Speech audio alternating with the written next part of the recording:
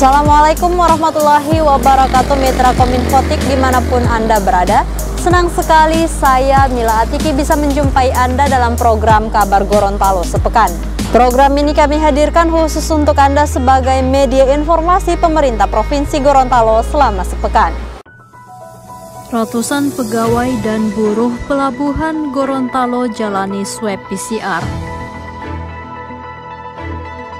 Bualemo mulai vaksinasi COVID-19 anak usia 6 hingga 11 tahun. Resmikan RMU di Boliohuto, Rusli ingatkan petani jaga kualitas gabah.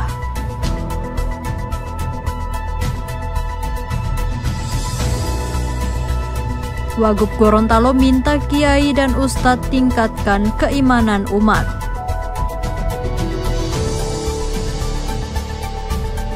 Koni Gorontalo Sulteng matangkan pencalonan tuan rumah PON 22.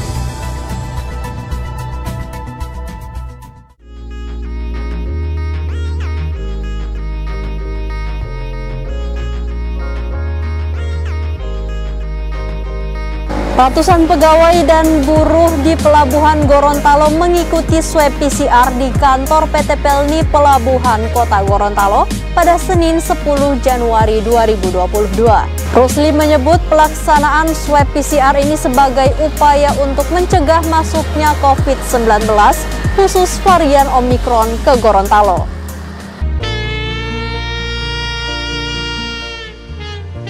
Ratusan pegawai dan buruh di Pelabuhan Gorontalo mengikuti swab PCR di kantor PT Pelni di Pelabuhan Kota Gorontalo pada Senin 10 Januari 2022. Swab dihadiri oleh Gubernur Gorontalo Rusli Habibi dan sejumlah pimpinan OPD. Gubernur Rusli menyebut pelaksanaan vaksinasi ini sebagai upaya mencegah masuknya COVID-19 khusus varian Omikron ke Gorontalo. Pemeriksaan swab PCR juga sudah dilakukan di Bandara Jalaluddin Tantu beberapa hari lalu.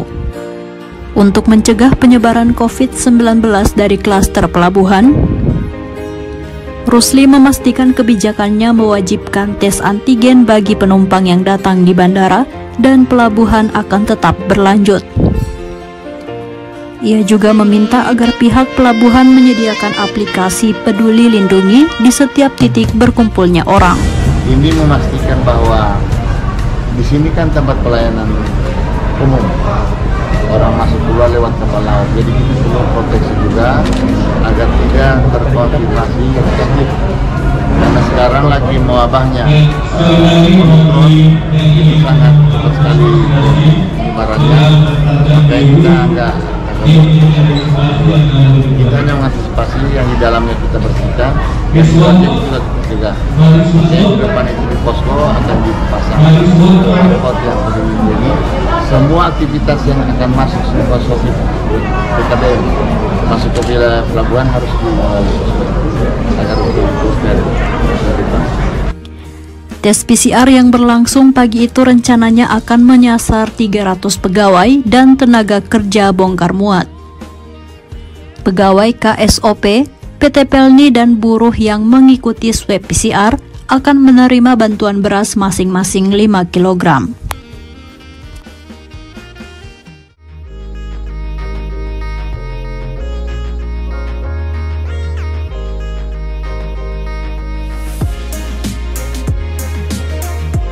Pemerintah Kabupaten Bualemo mulai melaksanakan vaksinasi usia 6 hingga 11 tahun pada Sabtu 8 Januari 2022. Bualemo menjadi kabupaten yang sudah diperbolehkan melaksanakan vaksinasi usia 6 hingga 11 tahun karena vaksinasi untuk dosis pertama sudah mencapai 80% dan untuk lanjut usia sudah mencapai 67%.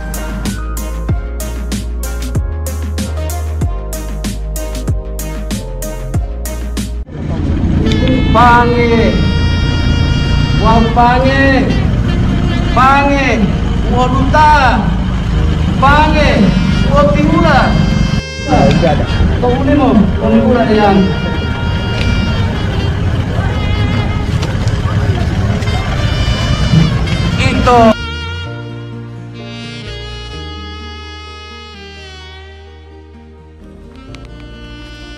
Pemerintah Kabupaten Boalemo mulai menggelar vaksinasi usia 6 hingga 11 tahun pada Sabtu 8 Januari 2022. Boalemo menjadi kabupaten yang sudah diperbolehkan untuk melaksanakan vaksinasi bagi usia 6 hingga 11 tahun dikarenakan vaksinasi di Boalemo telah melebihi 80% untuk dosis pertama dan vaksinasi lansia telah mencapai 67 persen. Kegiatan vaksinasi ini dihadiri langsung oleh Gubernur Gorontalo Rusli Habibi bersama unsur Forkopimda Gorontalo. Dalam sambutannya, Rusli menyampaikan upaya vaksinasi terus digenjot untuk membentuk herd immunity. Untuk pelajar sendiri sebagai upaya agar pembelajaran tatap muka bisa segera berjalan dengan baik. Gubernur Rusli optimis jika vaksinasi di Provinsi Gorontalo bisa terus dimaksimalkan otomatis penyebaran COVID-19 di Gorontalo bisa ditekan. Ia mencontohkan dari Desember 2021 sampai Januari 2022, angka penularan COVID-19 sudah mulai mereda. Sangat, adanya sangat kuat. Semakin tingginya vaksin, semakin merasanya vaksin, ini juga penyebaran corona makin tertinggal. Nah, berarti sangat signifikan harus kita melakukan dan tidak pernah berhenti untuk vaksin bagi anak-anak sekolah lansia dan umum. Nah sekarang sudah mulai dibuka sekolah tatap muka langsung baik SD, SMP, SMA, tetapi syaratnya harus sudah divaksin minimal dua kali.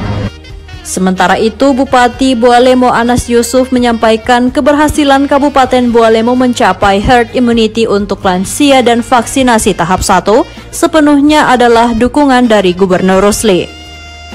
Ia pun memastikan pelaksanaan vaksinasi untuk anak berjalan dengan lancar karena tenaga kesehatan yang cukup banyak untuk menunjang target. Seperti pada pelaksanaan vaksinasi sebelum-sebelumnya, masyarakat usai divaksin memperoleh bantuan beras masing-masing 5 kg, termasuk siswa-siswi SD dan SMP.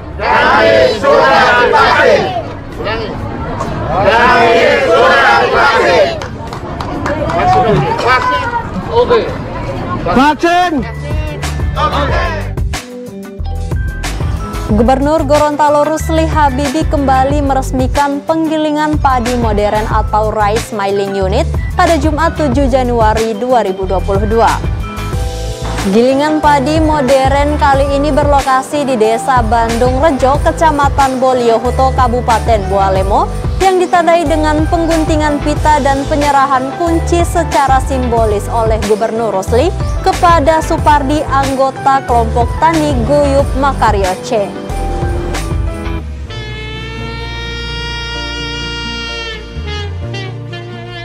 Gubernur Gorontalo Rusli Habibi kembali meresmikan penggilingan padi modern atau Rice Milling Unit bantuan pemerintah Provinsi Gorontalo pada Jumat 7 Januari 2022. Gilingan padi modern kali ini berlokasi di Desa Bandung Rejo, Kecamatan Boliohuto, Kabupaten Gorontalo. Peresmian ditandai dengan pengguntingan pita dan penyerahan kunci secara simbolis oleh Gubernur kepada Supardi anggota kelompok Tani Guyup Makaryo C. Dalam sambutannya, Gubernur Ruslim mengingatkan para petani untuk memperhatikan kualitas gabah. Sebab untuk mendapatkan beras premium tidak cukup dengan mengganti mesin penggilingan padi saja, tapi harus diikuti dengan perbaikan teknik budidaya hingga pasca panen, terutama dalam proses pengeringan gabah. Rusli juga berjanji kepada masyarakat di desa Bandung Rejo akan menambah gudang penampungan gabah serta melengkapi RMU modern dengan dryer atau alat pengering gabah. Produksi padi kita atau beras kita setiap tahun itu tidak sesuai dengan kebutuhan kita, masih ada selisihnya, sehingga perlu kita juga ekspor. Kalau sudah begini saya yakin masih bisa. Tapi yang saya inginkan agar uh, pupuk Pak Mul pupuk jangan sampai terlambat bibit jangan terlambat dan juga pengairan kita perbaiki Hal yang sama juga diungkapkan Kepala Dinas Pertanian Muljadi Mario. Menurutnya petani harus memperbaiki teknik budidaya mulai dari pemupukan yang berimbang, pengendalian hama penyakit tanaman, hingga penentuan waktu panen tepat. Kemudian juga harus diikuti itikat baik dari pengelola gilingan untuk tidak hanya mengejar hasil sampingan dedak dan konga yang lumayan tinggi harganya dengan mengorbankan kualitas beras yang digiling. RMU modern yang diresmikan ini merupakan salah satu dari lima unit gilingan padi modern yang diadakan melalui APBD Provinsi Gorontalo tahun 2021 untuk semua kabupaten di Provinsi Gorontalo. Selain peresmian RMU di lokasi yang sama dilakukan juga kegiatan vaksinasi untuk warga desa Bandung Rejo dan sekitarnya.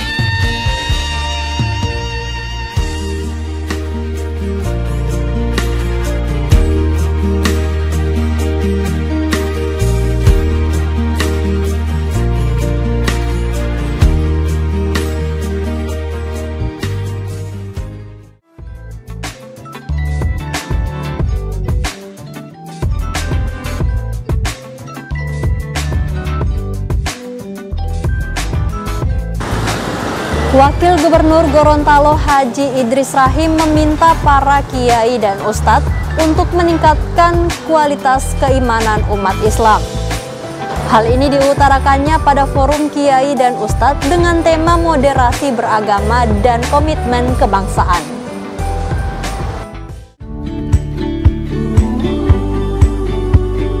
Wakil Gubernur Gorontalo Haji Idris Rahim meminta para kiai dan ustadz untuk terus meningkatkan kualitas keimanan umat Islam. Hal itu diutarakannya pada forum kiai dan ustadz dengan tema moderasi beragama dan komitmen kebangsaan yang digelar oleh pimpinan cabang gerakan pemuda Ansor Kota Gorontalo di Aula Rumah Jabatan Wagub Gorontalo pada Jumat 7 Januari 2022.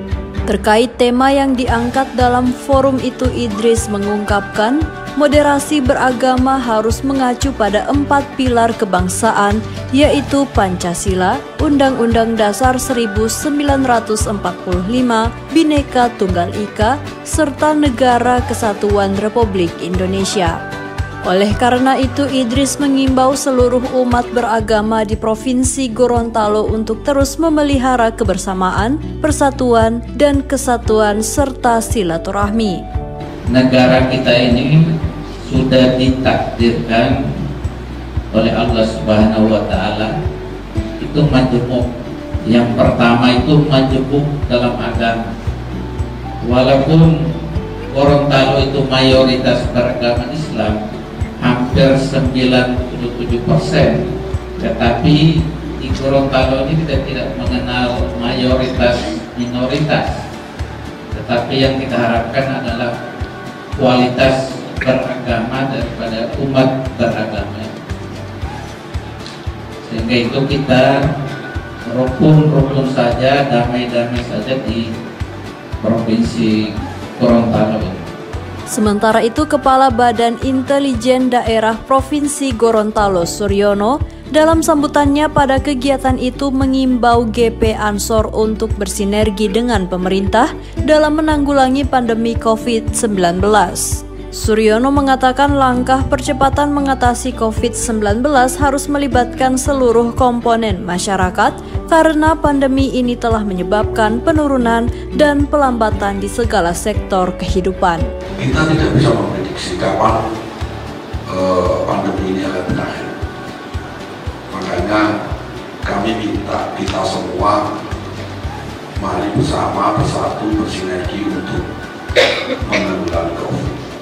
tidak capek-capeknya Pak Wagub itu mengingatkan kita dan mendorong kita sekeras mungkin untuk segera mengatasi COVID yang ada di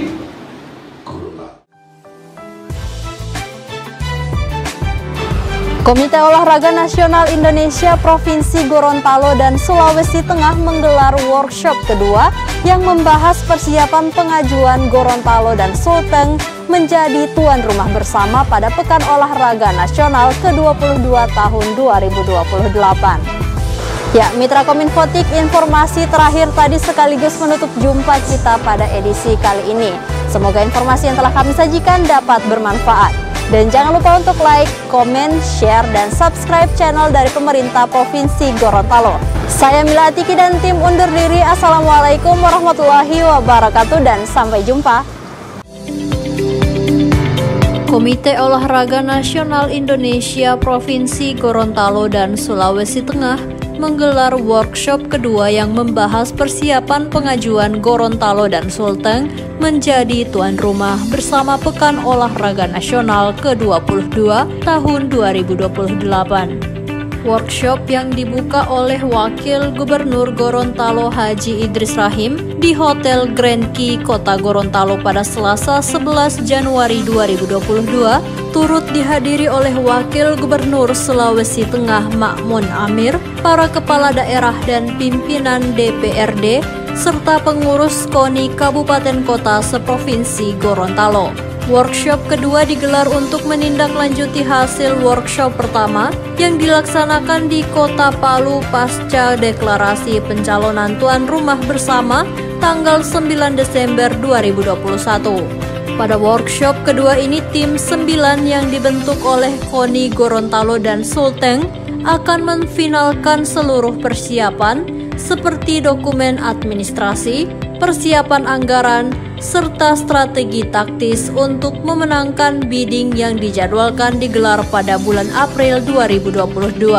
Menjadi tuan rumah PON yang ke-22 tidak sekedar berbentuk permohonan saja atau kita harus menang di bidding dan sebagainya tetapi harus diikuti dengan persiapan-persiapan yang matang untuk kedua provinsi tentunya di antaranya telah melaksanakan workshop yang pertama dan juga ditindaklanjuti dengan workshop yang kedua. Menurut saya ini adalah bentuk keseriusan Sulawesi Tengah dan Gorontalo menjadi tuan rumah. Hal senada juga diutarakan oleh Wagub Sulteng Makmun Amir yang berharap agar tim pencalonan tuan rumah PON ke-22 dapat bekerja dengan solid dan kolaboratif untuk mempersiapkan proposal yang akan diajukan kepada panitia bidding. Makmun juga berharap workshop kedua menghasilkan kesepakatan terkait tema ataupun slogan yang akan diangkat untuk pencalonan tuan rumah bersama PON ke-22 oleh Gorontalo dan Sulteng. Barangkali bukan Sulteng kok, tapi nanti kalau membicarakan saja nanti secara teknis pada workshop ini, apa kira-kira yang tepat? Karena Sulteng Rosa akan akan hanya hanya Sulteng kalau istilah kan asli jalan sendiri begitu. Jadi saya juga setuju kalau ada perubahan mengarah pada kedua perubahan.